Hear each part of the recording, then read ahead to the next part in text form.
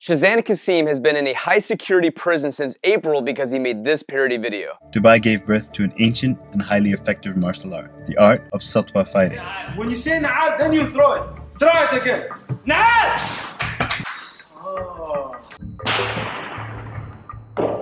Cassim is a resident of Minnesota and a U.S. citizen. Back in 2006, he moved to the United Arab Emirates to work with PricewaterhouseCoopers at their office in Dubai. On the side, Cassim makes comedy and parody videos. You can find all their videos on the Visa Cancel YouTube channel or check out their Facebook page. But on April 7, 2013, authorities showed up and threw Cassim in jail, revoking his passport for making the video called Ultimate Combat System, The Deadly Satwa Gs. Basically makes fun of these affluent suburban dudes who are fictitious crime fighters or something. Exactly, what the hell? Incredibly, Cassim was accused by UAE authorities of threatening national security and breaking federal federal cybercrime laws. His father moved to Dubai shortly after the arrest, and his family's pissed off because his video was published before this stupid new law came into effect. The State Department released a statement saying the US government and embassy have been in touch with UAE officials requesting a prompt solution and judgment on this matter. Unfortunately for Cassim, he's still in prison, and so far every hearing has led to nothing. His next hearing is in 12 days on December 16th, and unless there's something we don't know about, it goes without saying we hope this guy gets set free because this is stupid. As always, thanks for watching our videos. Like, share, subscribe, and check out our channel where we upload new videos